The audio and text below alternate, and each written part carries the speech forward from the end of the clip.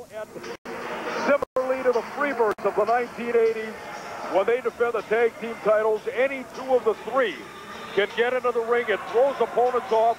They don't know which two they're going to get, but tonight it's the original members, Leah and DeNucci, and they have their hands full, believe me, with a man you know very well. Oh, do I? JB Trask and his tag partner, Johnny Park. This is going to be a very difficult one for me to pick because I like both teams very. You see the strength of these two men, but you see the demented side of the Lost Souls. This is going to be an excellent match. The Lost Souls, ladies and gentlemen, are as about as morose and as depressing and as somber a tag team combination outside of the ring as they are inside. Absolutely. Pain does not bother them, which is their strongest point. They enjoy it.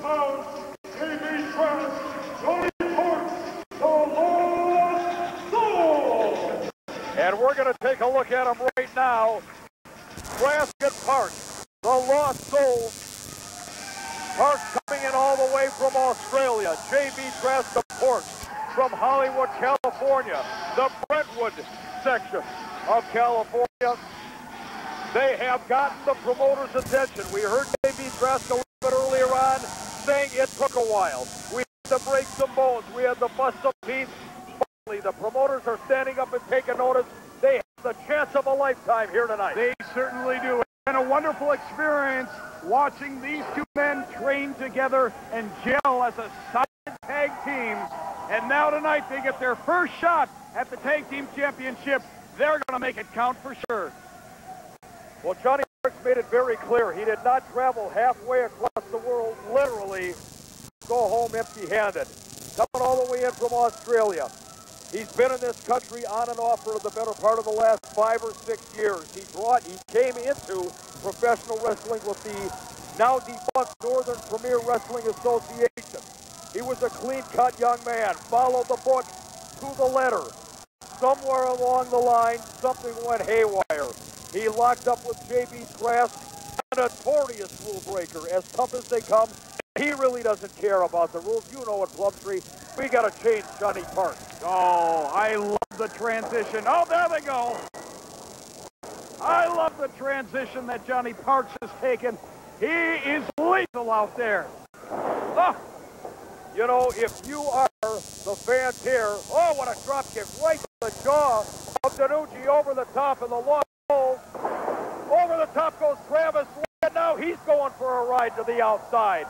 I started to say, if you're fans of Steel Domain Wrestling Twin Cities ringside, it has to be difficult to pick team you want to cheer for. Neither of these tag teams is exactly popular with the fans, but at this juncture, it appears that the crowd is aligning themselves with the Lost but neither team cares if they're popular with the fans. They know that their job in there is to wrestle for the gold.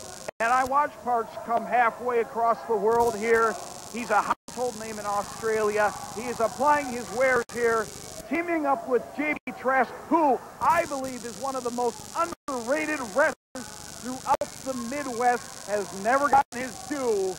He's a fine mat technician, but you overlook that. Time and time again, you overlook that. Never have overlooked it Yes, yet. Once have. again, you have no idea what you're talking Yes, about. You're you talking have. from a very biased standpoint. You, of course, have a history with J.B. Trask. Yes, I do. You managed him for a long, long time until finally he got tired of you, But as I- everybody You know what? eventually I does. watched every single tape that JB and I were ever teamed up together in. Oh, oh, oh, man. There's a field goal. Travis is singing tonight. Wow. You started to say, you started to explain how Trask dumped you like yesterday's newspaper. I. Have a sick way of putting a spin on everything, don't you? You can just make everything sound so anti-Plumtree. That's Johnny Parks in the ring right now. Casey Travis with the forearm shot. Catches it right across the sternum. Johnny Parks not the biggest guy in the world. In the ring at about 215, 220 pounds. But he is like a pit bull. He is like an absolute rabid animal in there. And the tag team along with JB Trask, who would do anything to win match, it spells devastation. Let's get back to something here, Nitz. seven years, seven years, no one has put Plumtree Enterprises out of business, have they? Have the they, Nitz? Out of what? Out, out of business. Out of business. Where's the blood? Nobody's put us out of business. We're still in the shop. Whatever. Look at this. They both know how to play each other. They play each other so well. You know, I brought that to the attention of the viewing public many, many times.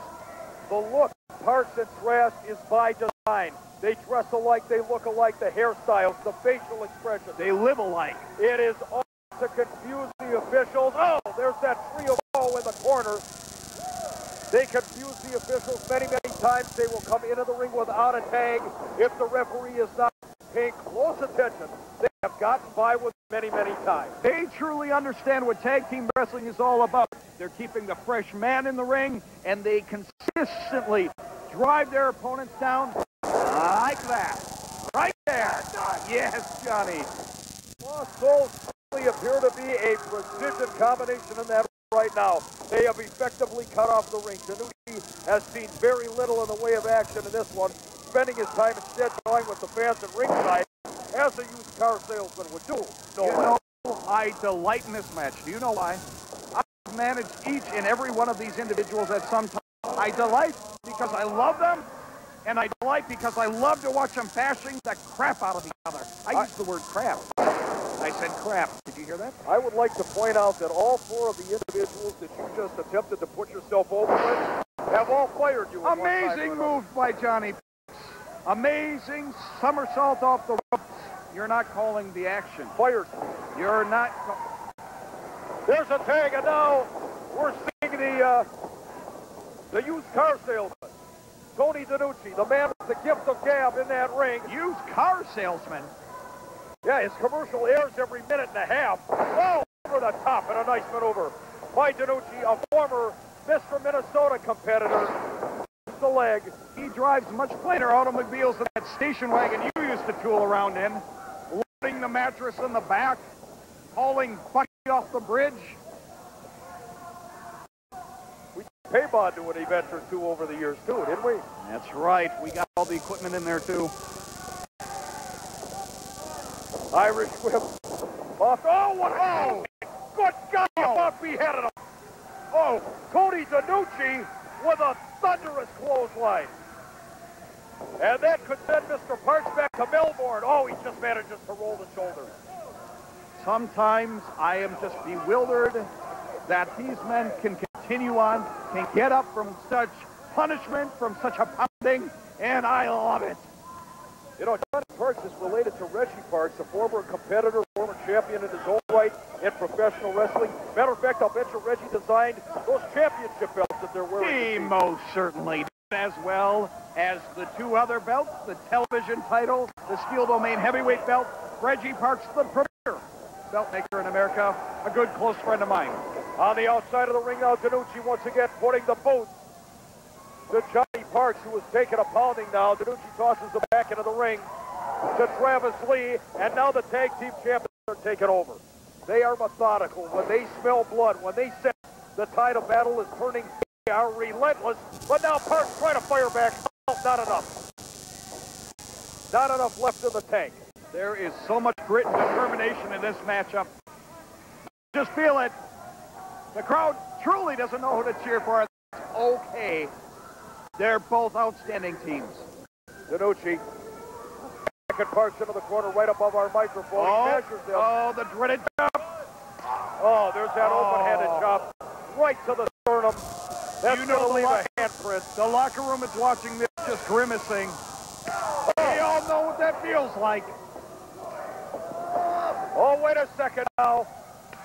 Oh, Parks reverses it, and he hammers at Danucci. There's a reverse knife edge. I told you Parks is rabid. All the way across the ring. Oh, nobody home. He telegraphed it, and was able to sidestep the on-rushing Johnny Parks. That's what I like about Steel Domain Wrestling. They let everybody have an opportunity here. The top of the business world to the low-life, dark, brooding souls, the lost souls. There is a place for everybody here in Steel Domain, even you.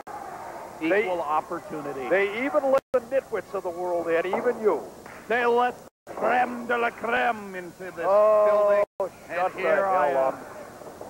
Move over. Travis Sizzle Lee now, the tasty one, the tasty one, tasty Travis, tasty Travis. I'm getting tongue-tied here.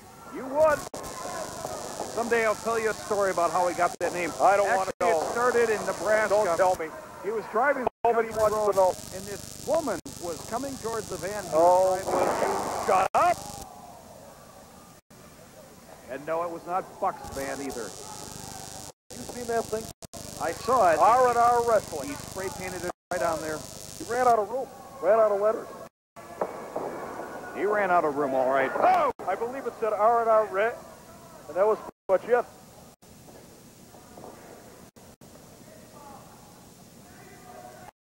Back to the action in the ring now. And now the tag team champions certainly asserting themselves. Johnny Parks has been on the receiving end of 90% of the punishment in this matchup. Danucci decided discretion of the better part of Valor went for that slam off the ropes. But as I said from the top of the match, the Lost Souls don't care about pain. They can take it, and they like it. They thrive on it. It's what drives them. Crossbody. Referee Solts is out of position, and there's a tag.